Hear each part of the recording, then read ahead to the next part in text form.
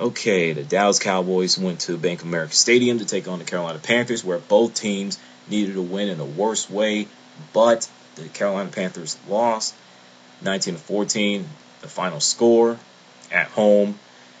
They're on a four game losing streak. It's their third game in a row where they lost a close, tight game. So, congratulations to the Dallas Cowboys and their fans. Uh, they won the game for the simple fact that Tony Romo didn't make any mistakes. The offensive line protected him. The defense just brought massive heat. Uh, the special teams did their job. What more you What more you want me to say? As for the Carolina Panthers, wow. I'm gonna start off with the offense. I mean, Cam Newton, you cannot throw the ball up for grabs. You either take a sack, throw the ball away, scramble, do whatever it takes, especially in the red zone. The last thing you need to be doing is to, to hold the ball for for days and just get rid of it the last second. And unfortunately, he threw an interception to Morris Claiborne. So Cam Newton's got to eliminate that. He has to eliminate the boneheaded plays. Uh, the offensive line was bad. They gave up two sacks. They couldn't open holes for nothing. I know that Ryan Kalil's out for the year with a foot injury, the same foot injury that Santonio Holmes of the New York Jets suffered a couple weeks back. But there's no excuse. And the defense, even though they played great, but it but it wasn't excellent for the simple fact that James Anderson should have picked off Tony Romo pass. That would have been a game changer and put the offense in a good field position. And the the front four for the defense for Carolina Panthers, they were just playing patty cake, patty cake, Baker, man, with the Dallas Cowboys offensive line all afternoon long to the point Tony Romo didn't even get touched at all. The only time he got touched is scrambling for yardage. That's it.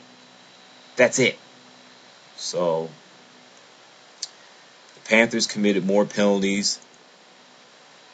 Two for ten on third down conversions. 0 for two for fourth down conversions.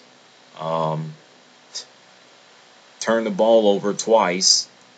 You know,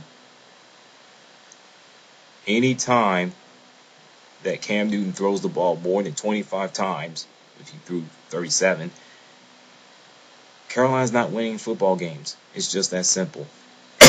and what is up with the running game? It is garbage now. I mean, listen to the stats. Listen to the stats. Jonathan Stewart, 10 carries, 35 yards. Mike Tolbert, 3 carries, 9 yards. DeAngelo Williams, 2 carries, four yards. What? Cam Newton had six carries for 64 yards, and that was in the first half. Second half, he was MIA. It goes right back to the play calling. Rob Chudzinski, what are you doing? And I'm not going to play the card of get rid of the read option BS. I'm not going to do it. I'm not going to do it. Because it, it's just basically beating a dead horse at this point, juncture. So, uh, Panthers lost this game. They, they, they lost the game, and people saying that that um, the pass interference. Yeah, it was it was BS. The referee should have called it, but it is what it is. And the horse collar tackle from um, James Harrison, James Anderson, excuse me, got that mixed up with James Harrison from the Pittsburgh Steelers. What's wrong with me tonight? That was BS.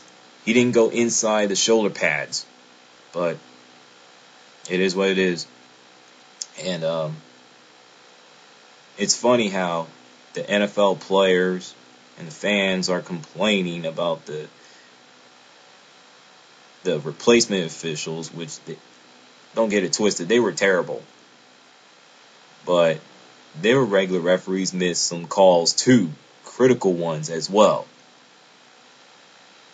But the Panthers wouldn't won the game anyway. But even though I had them winning the game, but whatever. Now they got to travel to Chicago to take on the Bears in the series record. The Bears lead four to three. Last meeting, Bears won 34-29 last year, uh, on October 2nd.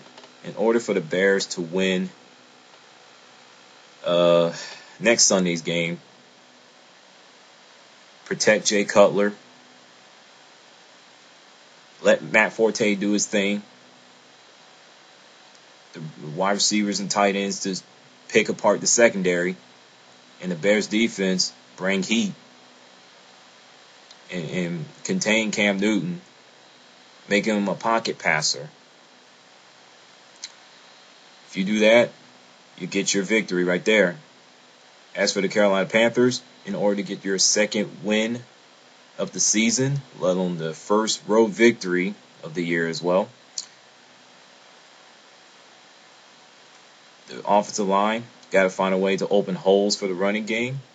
Cam Newton has to make better decisions. Don't make boneheaded ones.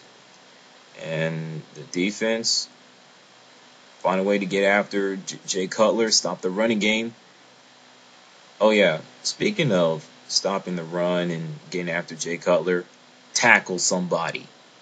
Prove the critics wrong. If you do that, everything's all good. If not, it's going to be a long day. The special teams, do your job. I don't see the Panthers winning at Soldier Field. I just don't see that happening. So with that, you know what to do. I'll talk to you guys later.